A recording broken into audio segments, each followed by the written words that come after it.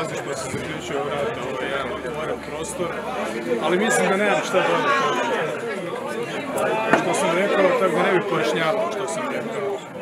Demografija je u Hrvatskoj tema političara od 90. Na prvom saboru HDZ-a o tome mislim govorio Ante Batković. A to je bilo predpopis na kojem se pokazalo da nas ima 4 milijuna i 700. A kažemo da smo bili uspješni ovih 30 godina. Ja se slažem da smo bili u nekim stvarima uspješni, ali kad prestanemo kukat toliko o demografiji, a nemamo rješenja, nema rješenja, onda ćemo biti uspješniji u nekim drugim. Nemamo rješenja, naime, za broj malih Hrvata. On će padati još neko vrijeme. Samo je bitno da činimo sve da zadržimo način života na koji smo navikli u našoj kvalitetno i moglo više? Ili... Ne može tu, na koga mislite? Mislite na, mislim na vladu i na komunikaciju sa grčkim vlastima, mislim, na premijer na može, to. premijer, ja sam rekao da vladi nije jednostavno, pa je onda nekakav ministar se izlupetao u medijima, ne znam koga je poslao tamo, kada su ga sa lance pustili. Onda je Plenković tri dana kasnije rekao isto što sam rekao ja, ali praktički u riječi isto. I njemu je eto sumnjivo kako su ti ljudi, kakve su to inkriminacije, to još čekamo.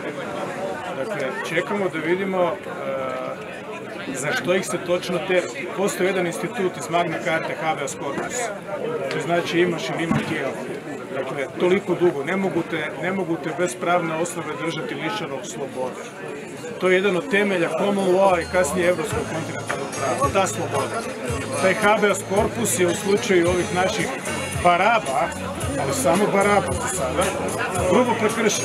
To ja ne vidim kao vladavinu prava, nego kao jednu masovnu reta- retaliaciju prema jednoj a, etnički obojenoj skupini. Etnički, odnosno državljanski obojenoj skupini. Oni su tamo skupili sve hrvatske navijače strpali ih.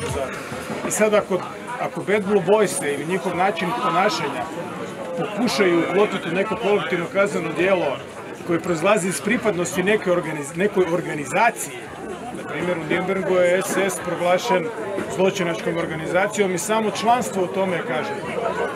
Bad Blue Boysi to sigurno nisu.